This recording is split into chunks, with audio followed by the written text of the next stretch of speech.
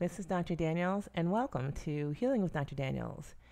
And today is Sunday, November 24th, 2019, and our topic is Could half a trillion dollars in medical care be of no benefit?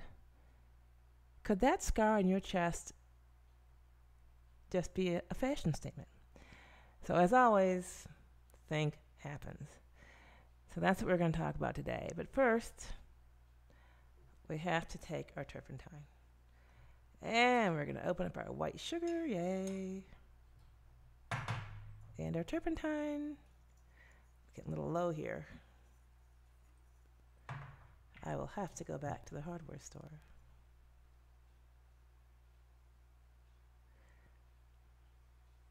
Mm. So this is my um, pipette that I use. And I like to fill it right up to the neck. We're going to squeeze that level down just a little bit. You see level falling. Yep, leave it right there. That's about half a teaspoon, which is what I like to take. And this is our white sugar. Yay. And we're just going to squeeze that turpentine right onto the white sugar. As you can see, as you can see, the sugar turns a little kind of grayish color. Yep. And then of course we have our water.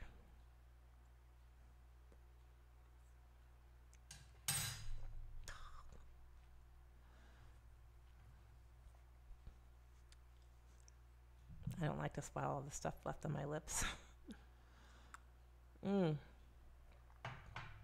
And next, we're going to take some Shilajit. Ah, there we go. Shilajit, gooey, gooey tar.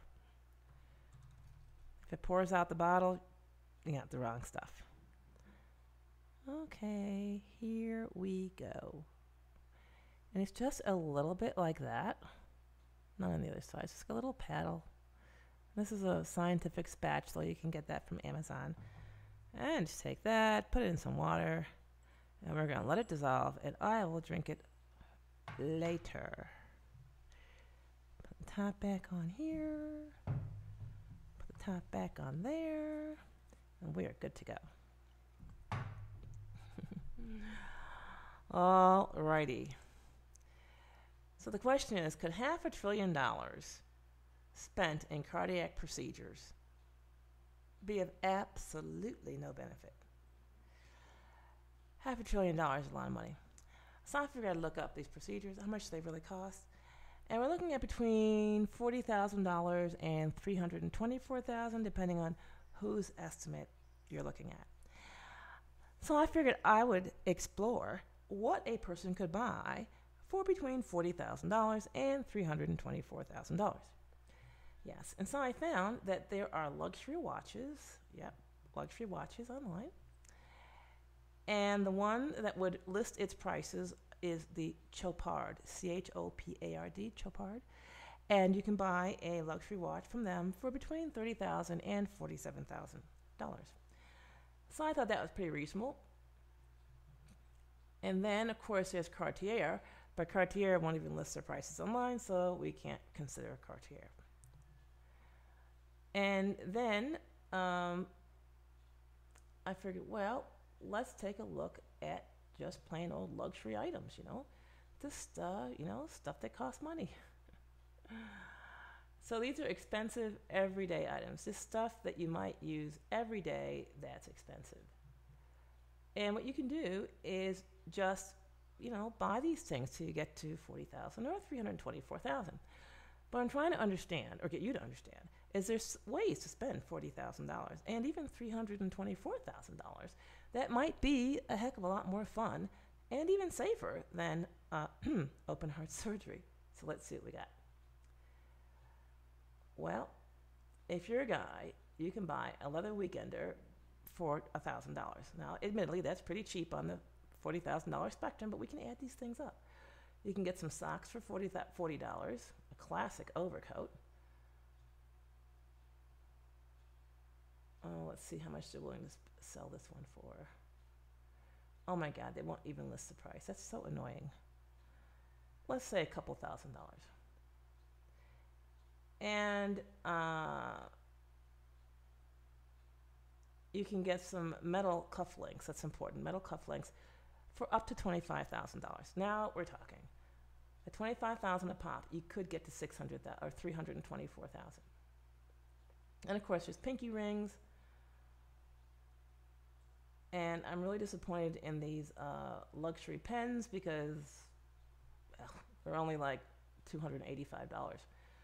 Can't rack up much of a bill there. But you could buy some really fancy shoes for $3,000. Yes. There you go. And you could get a quality leather belt for around another $3,000. So you get the idea. This stuff can really add up. And if you like a camera, a Nikon camera, you know, your little iPhone is not doing the trick. You want something that's a little more, uh, you know, deluxe.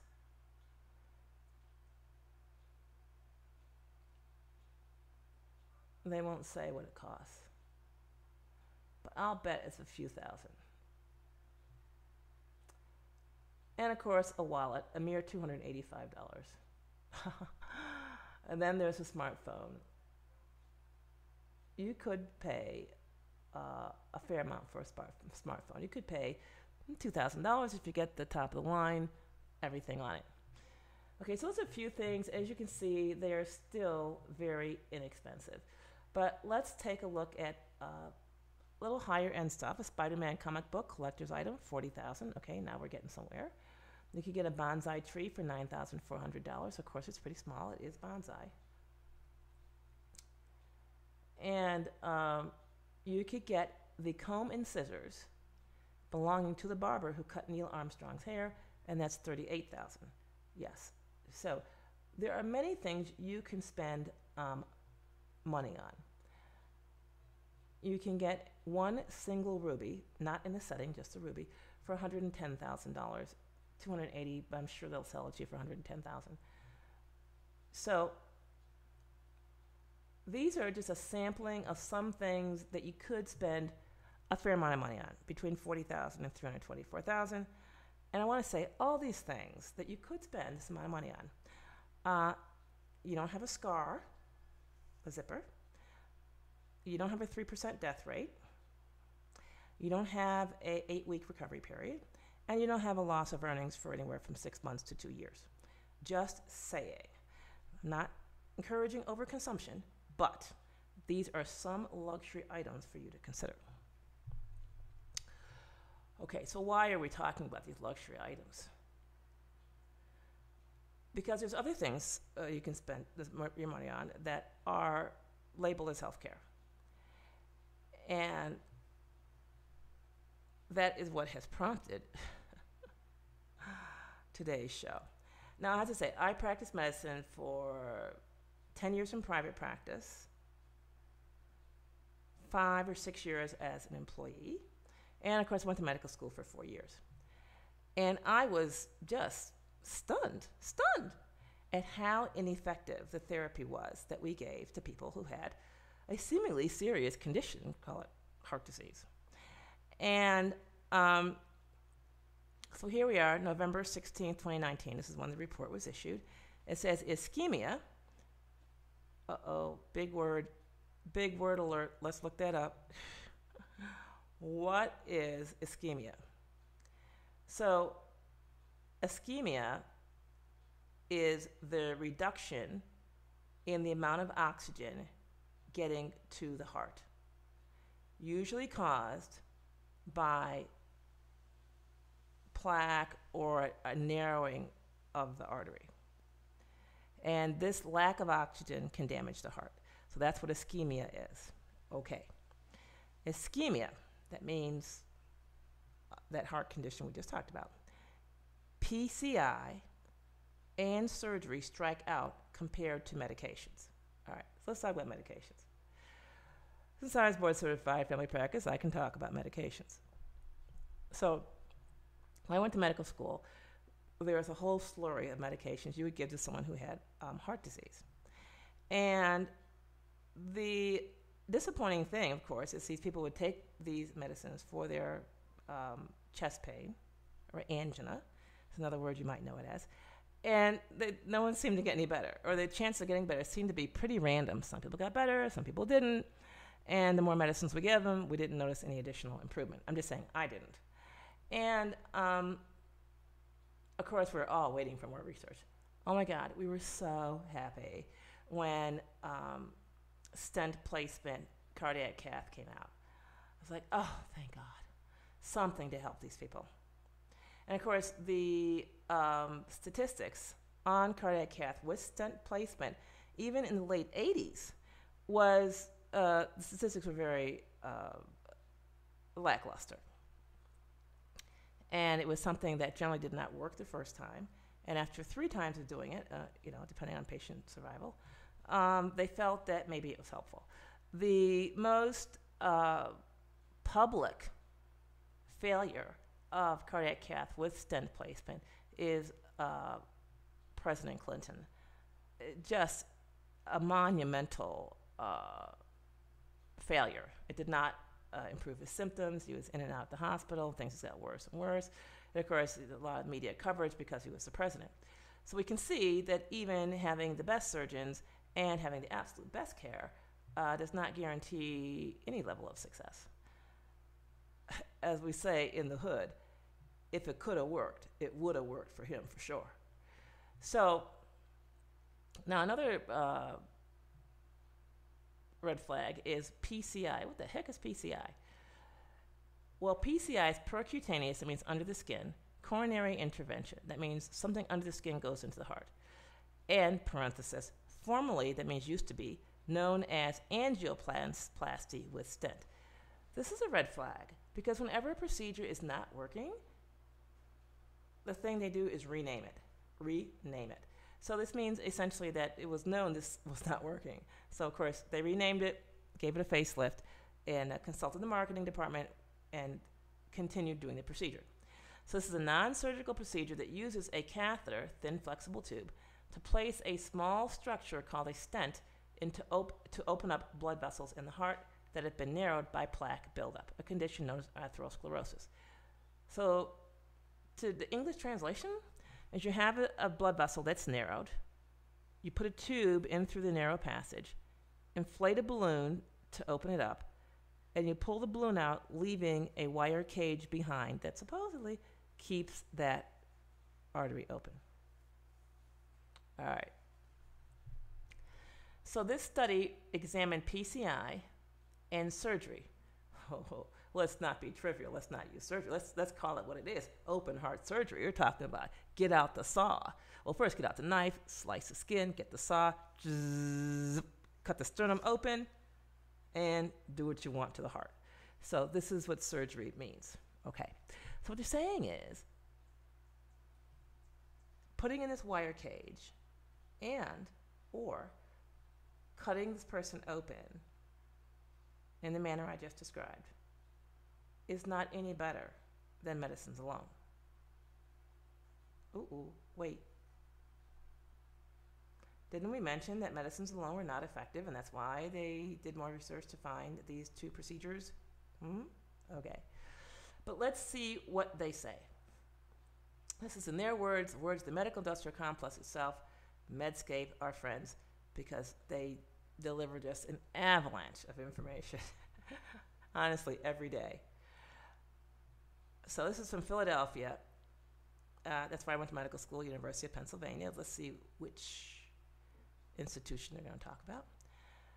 Viewed by many as the last chance to determine the true value of revascularization in stable ischemic heart disease. The true value of, let's call it what it is percutaneous coronary intervention or angioplasty with stent or open heart surgery. So, the value of these things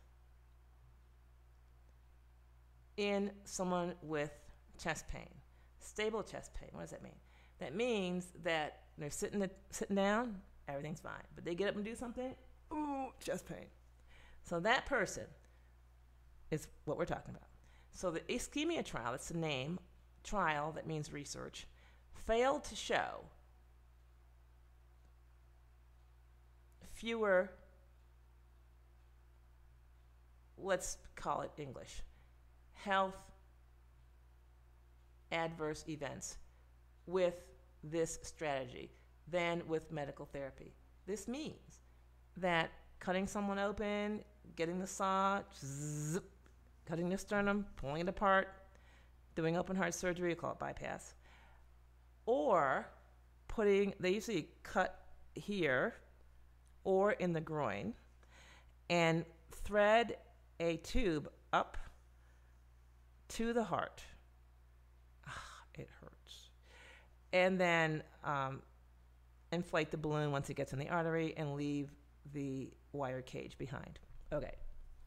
So, what this study found is that over a 3.3 year follow up period, Kaplan Meier curves, that's statistics, for the primary endpoint, that's uh, death from heart disease, a heart attack, hospitalization for chest pain, hospitalization for heart failure, or having a cardiac arrest and needing resuscitation, all of these were similar between the invasive and the conservative strategies group.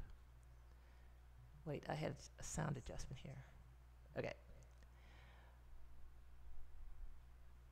So the curves crossed at two years follow up, with the absolute rates favoring the uh, optimal medical therapy at six months by 1.9%, and favoring early invasive procedures or bypass surgery at four years by 2%.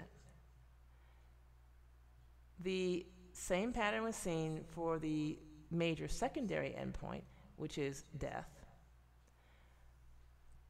So, in other words, giving medicines, people lived better for the first six months without surgery. And then around four years, surgery seemed to be better. However, the rates of all cause death were the same. What does that mean? That means the people who had surgery had a lower death rate from heart disease, but a higher death rate from other things. And the total death rate for either group was the same. To this I say, as an individual, all one really cares about is am I going to die? Am I going to live? And it's the surgery and the torture and the $40,000 to $324,000 going to help me live a minute longer? It appears it will not. That the expenditure on angioplasty plus stent, open heart surgery, or PCI, which angioplasty has been renamed PCI, will not help the individual to live a minute longer. And so this is shocking. So the probability of at least a 10% benefit, so the probability of a 10% benefit, that's a minuscule benefit, and in most people, it is not enough to translate into a quality of life benefit. So the probability of a 10% benefit, we'll call it no benefit, of revascularization, that means surgical intervention, on all cause mortality was less than 10%. That is shocking. Talk about nothing from nothing. And it's pretty high price for nothing.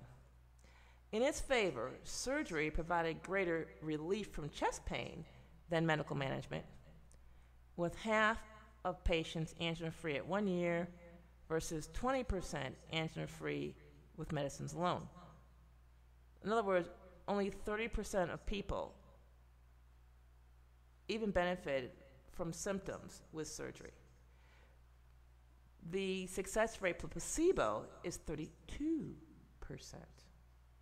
So, what this means then is that cutting someone open, getting out the saw, and zip, had no more effect than placebo. That's a darned expensive placebo. $40,000, $324,000. That's the range of cost estimates for open heart surgery when you check online. Hmm.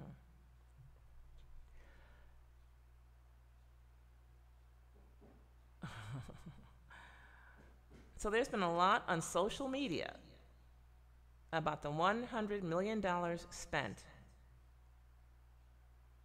on PCI, that's angioplasty with stent.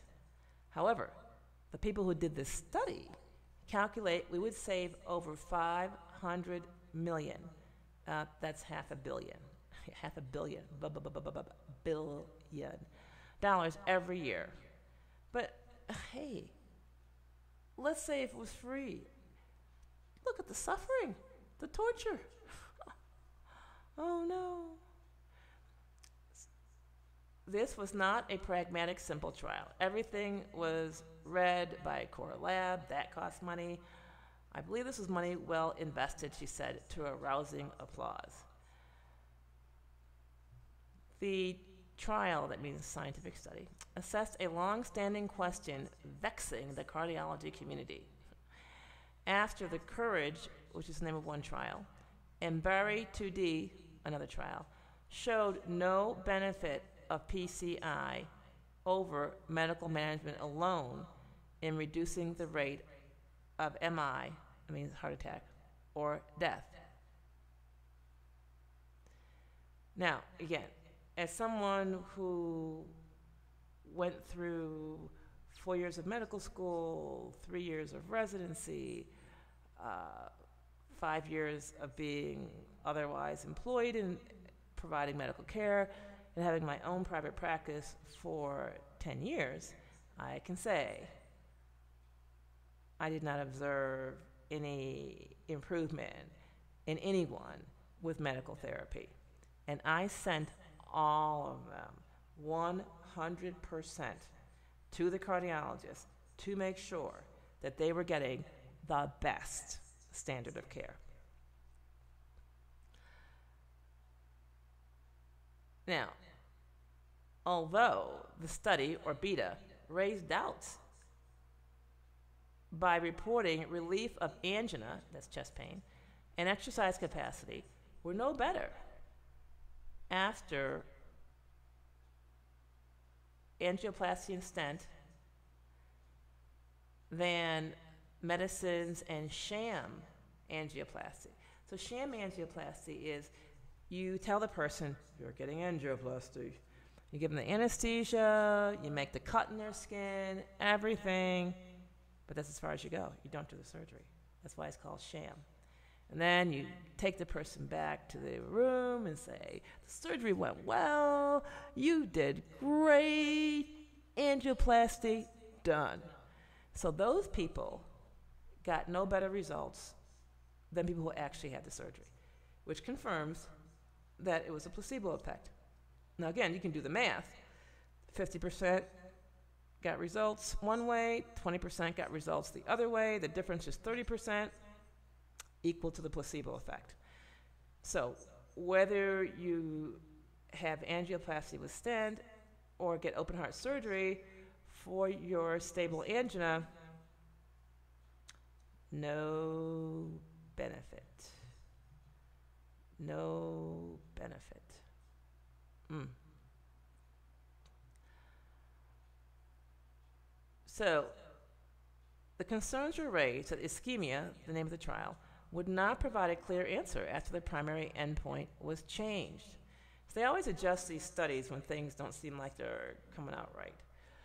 Uh, so they changed these endpoints, but it still showed that there's no benefit. So further, eligibility criteria was expanded beyond 10% ischemia on stress imaging tests to patients with only 5% ischemia at low levels of exertion. And uh, Dr. Eagle from University of Michigan, Ann Arbor, was among those who raised concerns about changes to trial design. In addition, only 23% of patients in the medical management group went on to having a procedure done despite nearly one third having indications for cardiac cath. In other words, many people who are actually eligible for cardiac cath and for revascularization said, you know what, I'm going to pass.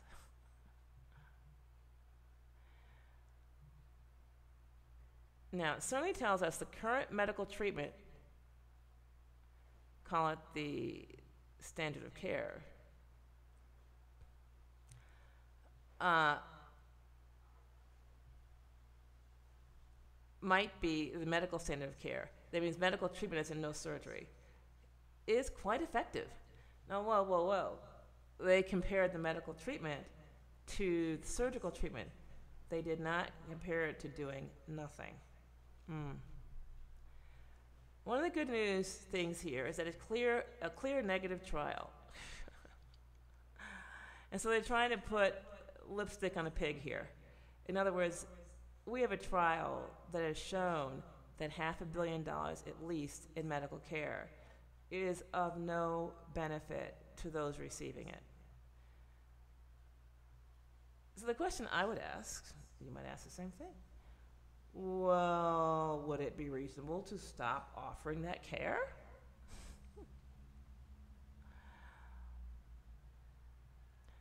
so, invited uh, Dr. So and so from Boston University said the trial was very powerful and the results were not altered by the change in the primary endpoint. What we know from the trial to date is that in patients with stable ischemia, that means you sit it's at rest, no pain. You move and try and do something, you get pain. Those are the people we're talking about. And you get pain to your, your heart.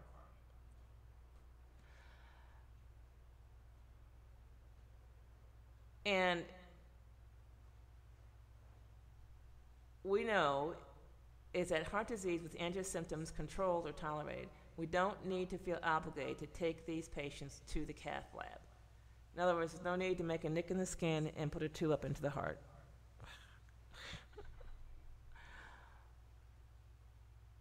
I would think, without any inside knowledge, that the results of this trial would be key studies that are incorporated into medical guidelines. One thing that comes to mind is are we doing too many stress tests on these patients who have mild or moderate symptoms of one chest pain episode a month? That's a big question. So now the conclusion is if these people in a more serious group are not benefiting from intervention, then why should we be intervening in people who have even milder symptoms? So now we have another chunk of money that might be off the table.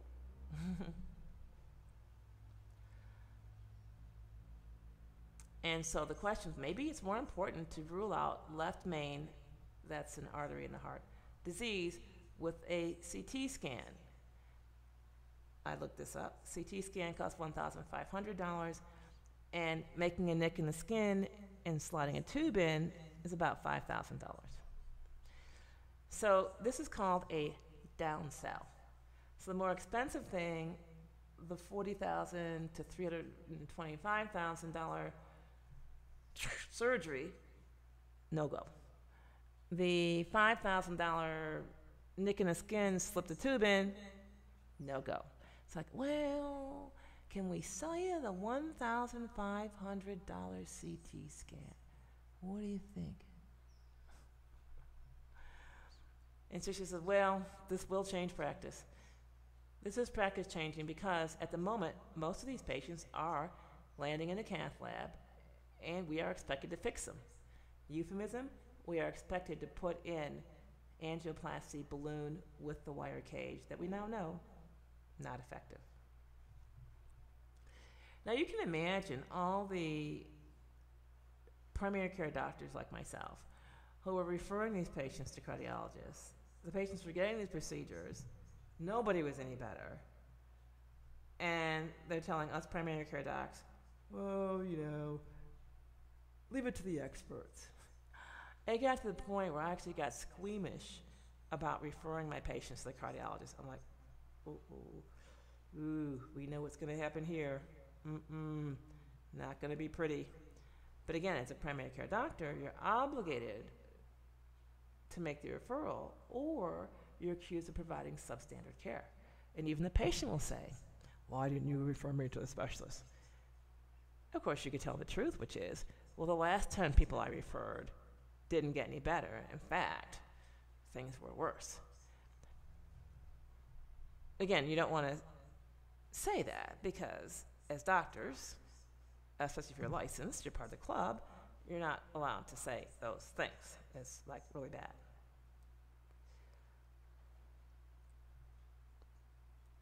And so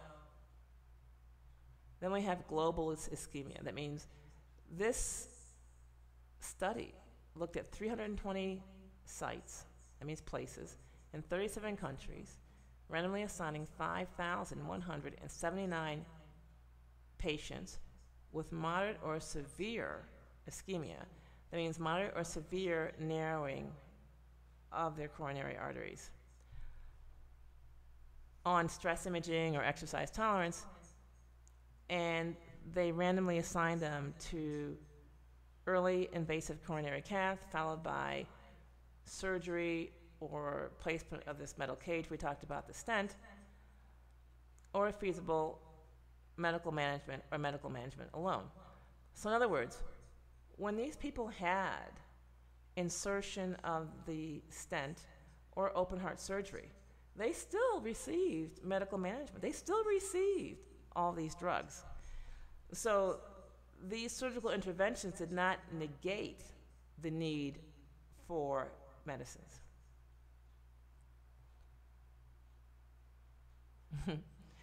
so the trial enrolled 8,000 people, but to avoid the charge of referral bias leveled against prior studies, the randomization was done after uh, a blinded step to identify and exclude those with left main disease or without obstructive coronary disease. So some people have chest pain, they have angina, but their coronary arteries are clear. Ultimately, 73% of patients underwent uh, CTA, of whom 434 were excluded for left main disease. And so 1,200 were excluded because they didn't have any blockage in their coronary artery.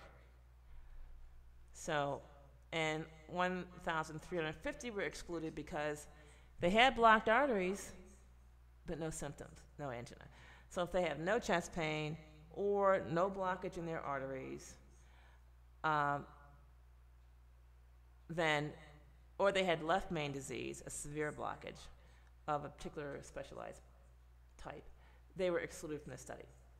So this was basically your bread and butter uh, cardiac customer.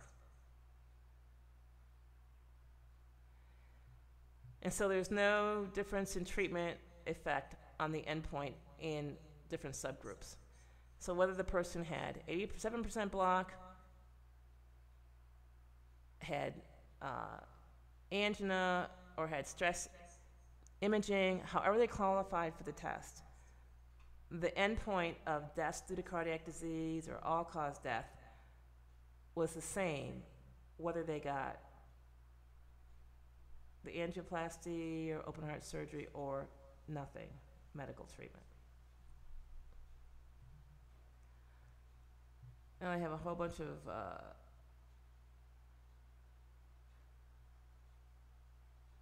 other technical stuff. But this study was actually paid for by the National Heart, Lung, and Blood Institute, donations from a drug company, two drug companies, three drug companies. And it found no benefit from surgery of any kind. And it was not superior to medical management.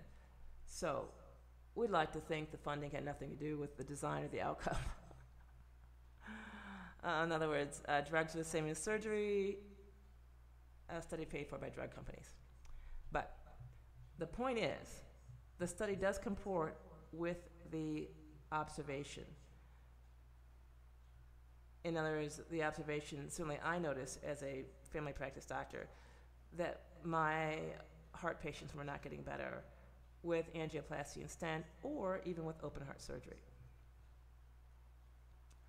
Okay, so here they say this, this study showed that routine invasive therapy was not associated with a reduction in major adverse health events compared with just medical therapy.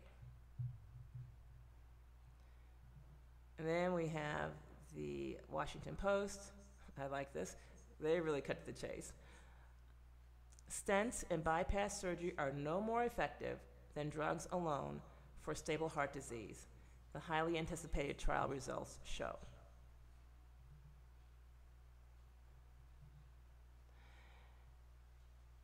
So this is pretty like earth-shattering news, right?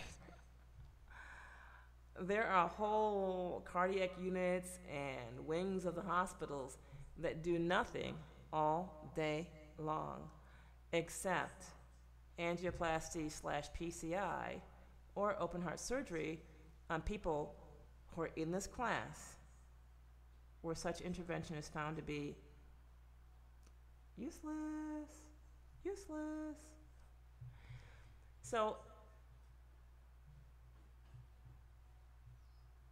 let's take a look at what uh, medical management might be.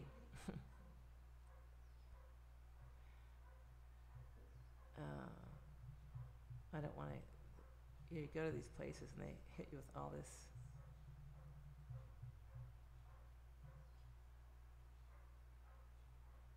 All these ads. So the basic uh, treatment is aspirin to thin the blood. Supposedly you're trying to get rid of a blood clot. Clopidogrel, which is Plavix. ACE inhibitor. And beta blockers. Now possibly calcium channel blockers as well.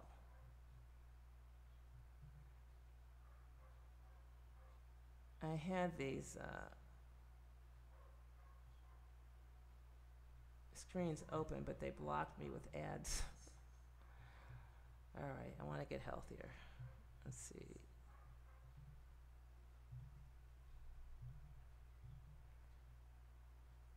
There we are.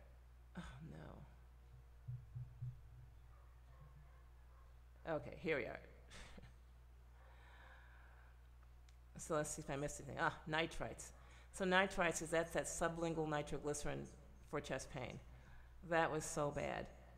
When I was in practice, it was like, oh, somebody would use that and they would get the killer headache, and you always got the phone call about that. Then, of course, statins to lower the cholesterol, and ranolazine, which is a new one that's added. So obviously, you have one, two, three, four, five, six, seven. We wouldn't have seven drugs if six would do. We wouldn't have six drugs if five worked. So basically, this is a regimen that's fairly ineffective, uh, just like it was when I was in medical practice. And it's really heartbreaking that people are being asked to uh, take all of these things, all these drugs, and spend all this money and all this time with no benefit. Let's just see how bad. Uh, the benefit is.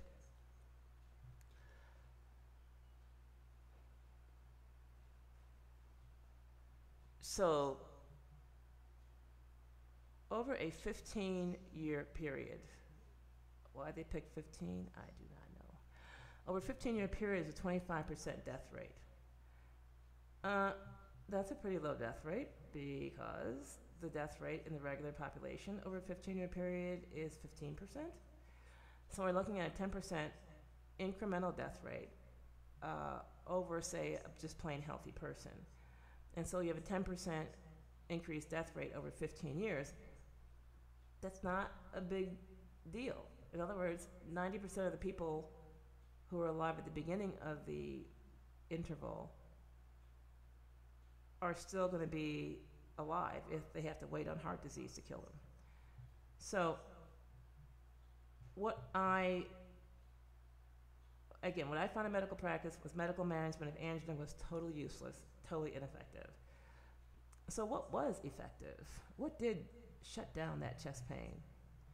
Answer lifestyle changes. Now,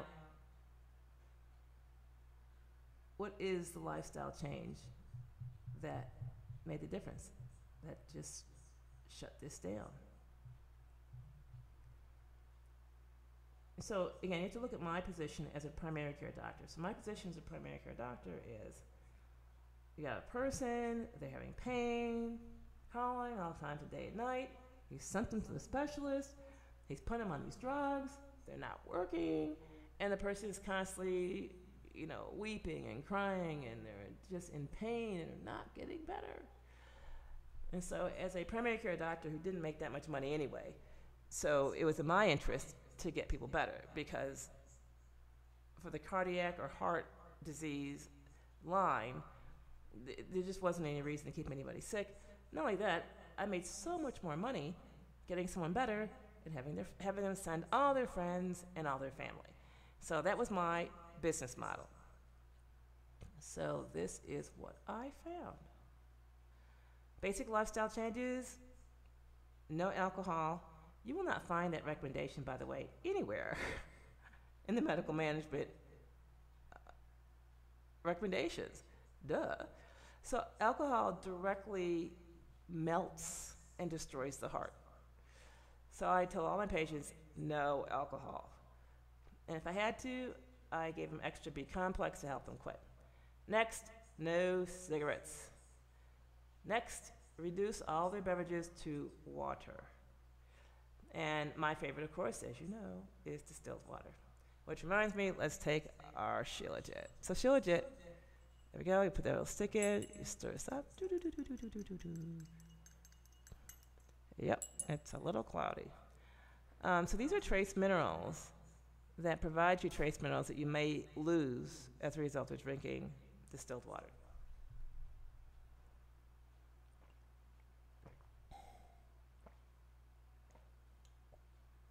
There you go, down the hatch. Okay, distilled water. Moderate exercise. I'm giving you my definition of moderate exercise, exercise, which is probably less than the classic definition your licensed doctor might give you. By the way, I don't have a medical license. no, no more. um, so my book, this heart person needs to develop the ability to walk to the corner. So if your house is someplace on a block, try and walk to the corner. If you're not that good, then try walking across the room. Whatever piece of walking you can do, do it. Then, over time, you'll get better and better and increase your walking to 30 minutes a day. Now, just for your information, historical reference. About 80 years ago, people used to have something called a daily constitutional. That was the walk they took every day for 30 minutes after dinner to help their digestion. And this was something that everyone did just because, well, it made sense. So, bring back that morning, uh, the daily constitutional. Now, notice no gym needed, no special equipment, no personal coach. All right. Next is a diet. Diet is super, super simple, and it has been proven to reverse cardiac disease to unclog clogged arteries uh, by Dean Ornish and by many other standard cardiologists who still have medical licenses. Uh, so, what I recommend is a diet of no processed foods. So, no matter what it is you decide to eat, nothing processed. So, no rice cakes, no rice milk, no soy milk, no oat milk, no fake butter, no fake meats. You get the idea? Okay. So the quickest diet that um, reverses clogged arteries is a diet of no animal products. That would be none. now, in my humble experience, this works wonders very quickly. And after about two months, the person can cautiously resume meat, but no dairy products or processed food. And most people with their chest pain, especially if they stop the alcohol, cigarettes, drink water only, and then go on a diet of no processed foods, they usually notice a difference in one to two days. It is very dramatic. So, that would be the natural approach. Now, I have to just add one more thing. Okay, so we talked about all this jewelry you could buy for anywhere from 40,000 to $324,000. I think if you're thinking of getting any kind of cardiac procedure, you should go buy a piece of jewelry instead. And I also refer you to Clan of the Cave Bears. This is a, a three or four volume series written by Jean Auel, A U E L, Jean Auel. The uh, protagonist or character in all the books is Ayla, A Y L A. What's this got to do with this? well, Ayla was a very proficient, pro, pro, proficient person, and she was a member of the Cro-Magnon Man tribe. And whenever she mastered a skill that would um, help her with life or survival, so whenever she mastered a survival skill, the person teaching her would take a knife, make a slice across her forehead. And that would be a mark that everybody would see, and everybody would know that Ayla had gone through a particular ritual of instruction successfully. Mm-hmm.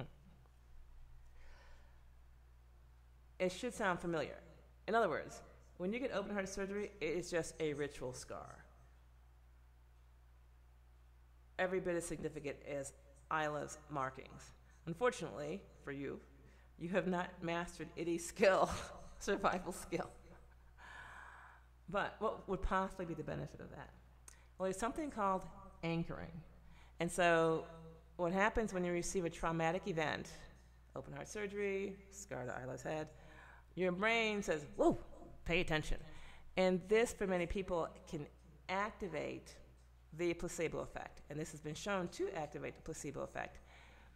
And so, uh, unlike Ayla, the injury scar you're getting from open heart surgery or even cardiac cath is not superficial, it's major surgery. And of course, you don't have a survival skill, you've just survived. In other words, you received an expensive tattoo. Yes, a very expensive tattoo. Here, or less prominently, here or in the groin.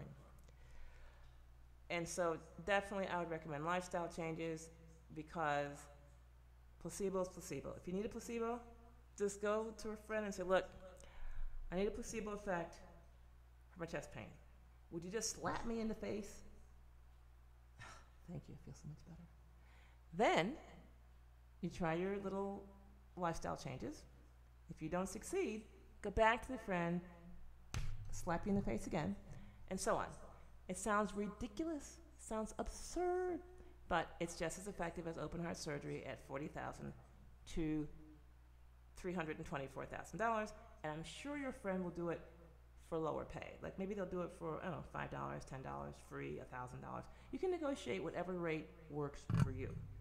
But the important thing to do, is to understand that these uh, heart surgeries for chest pain and for ischemia are nothing more than cultural rituals of mutilation. And you can pick your degree of mutilation. And you don't need to do anything that extreme to activate the placebo effect. So you can pick whatever um, shocking event you need. You can write something out for your friend or spouse or relative to yell or scream at you. Um, you can have them slap you. You can um, really pick anything that would give your body a jolt or a shock but not cause permanent damage of any kind. Open heart surgery, by the way, has a 3% death rate. Mm. A slap in the face, pretty harmless. Yeah. All right. That brings us to questions for this month. Now, you guys might think that's a little bit kinky, but I'm telling you, going under general anesthesia, getting sliced open, getting your chest plate sawed, That's cakey. Mm. That's what I think. Okay, we've got some questions. I took great care.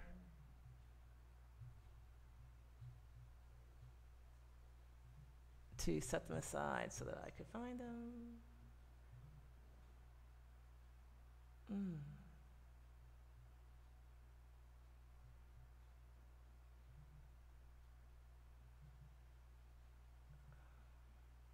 Ah, here it is. Found it.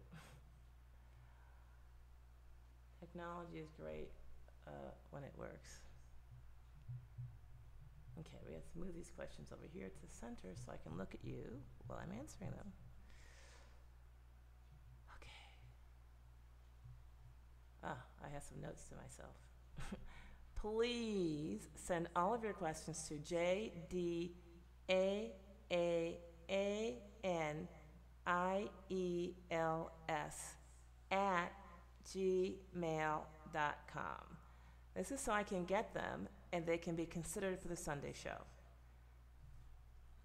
There are literally about 12 places on the internet for people to leave messages for me. we are working on that. But in the meantime, even if you might be on Facebook, please send your questions to JDAAANIELS at gmail.com and that way they would be considered for the Sunday show.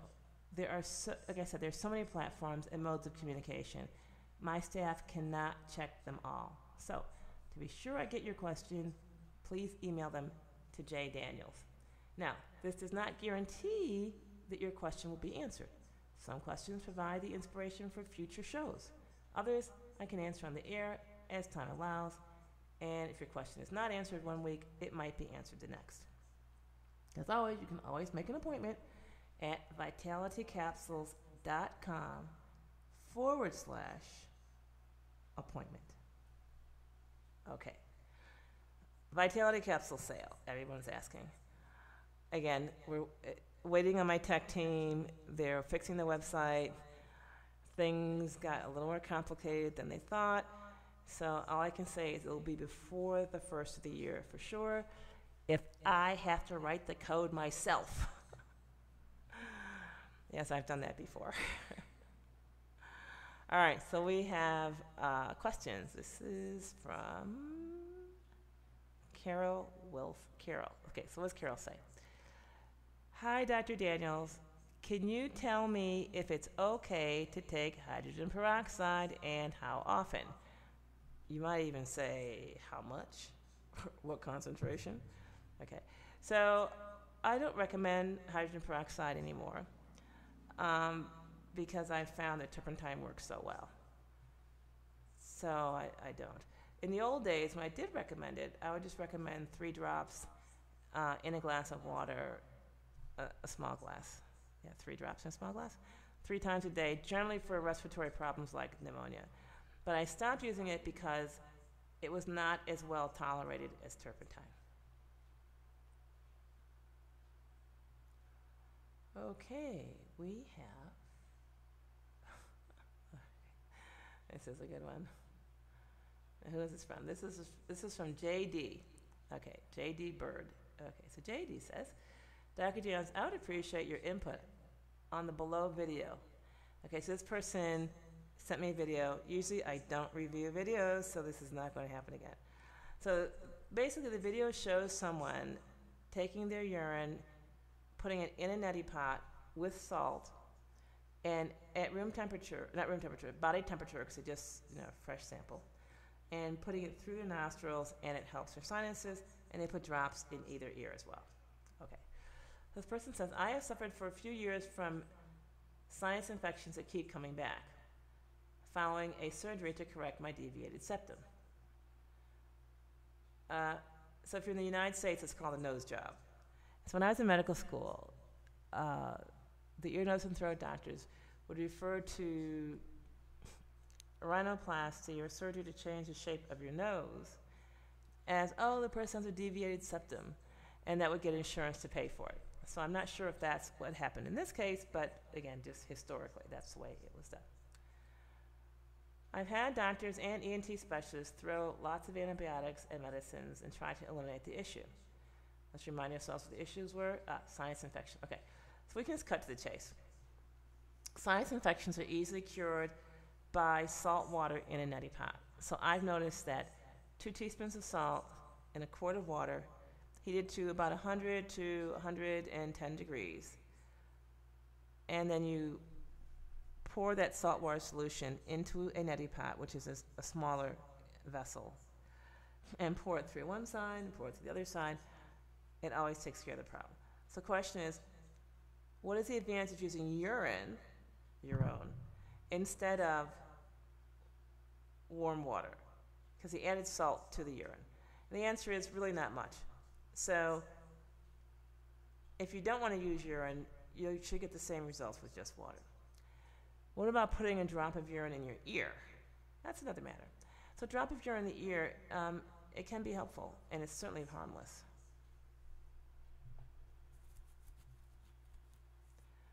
Okay, AMRA. What does AMRA say? Hi, Dr. Daniels. My aunt suffers from cellulitis. Those of you don't know, cellulitis is uh, redness, pain, swelling, maybe even pus pouring out from the skin in a certain area of the body. Okay. She suffers from it regularly. That means like more than once, maybe more than three times. What causes it? So, what causes it is her diet. So, she's got to get the processed food out of her diet processed food, sugar, those types of things. That's one cause. Another cause is a reservoir of the infection in her body. So if she increases her bowel movements to three poops a day, that will get her body dumping this waste at a regular rate, and it won't need to create the cellulitis. Okay, she's always put on antibiotics. Is there a natural remedy for this? Yes, we just covered it. That's interesting. Hi, Dr. Daniels. Do you know if the Candida cleaner, aka turpentine, can reverse damage done to ligaments and tendons due to antibiotic poisoning? I was starting to lose the use of my right leg, but that has improved. I do have a loud snapping, popping sound when I bend down to try and st- straighten up. Painful and scary. Yes, it is scary. I could tell you I have stopped the progression of it, but I wondered if you know if it can be totally healed. Thank you so much. Love you, Lorraine. Okay. So this is a common um, side effect of fluoroquinolones. That would be Cipro, levofloxacin, and all the other oxacin antibiotics. So this person had damage to ligaments and tendons. So the best way to, to fix damage to ligaments and tendons is to eat uh, pig's feet or ham hocks. Yep, that's it. Boil them up, make a soup. There you go. Um, you probably have to eat them. I would say daily for four days, and you can take two days off, and then daily for four days and take a few days off. Uh, and that will rebuild your tendons. Now, the role of turpentine is that turpentine keeps the ham hocks from irritating you in terms of your body dumping the waste products from the uh, ham hocks and pig's feet. Okay, so Trendz, spelled T R E N D Z, has a question. The doctor told me that I have H. pylori after complaining for years about stomach aches and digestion problems.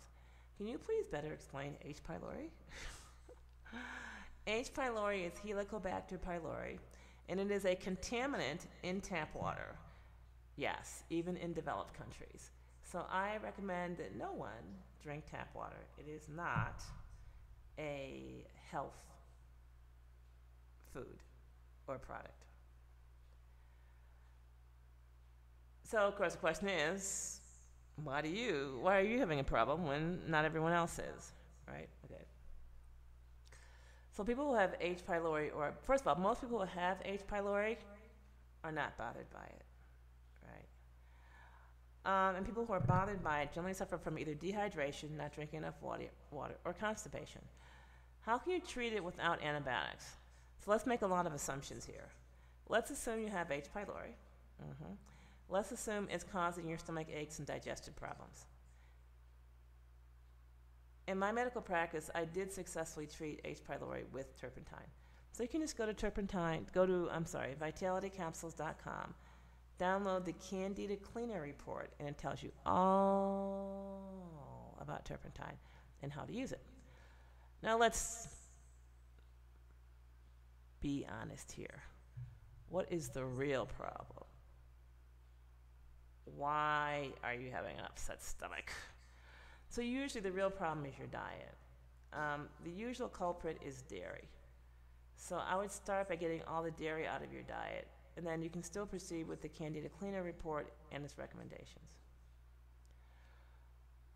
Okay, that brings us to the end of our hour. As always, it's been a pleasure. We'll see you again next week. And remember, think happens. Let it happen to you.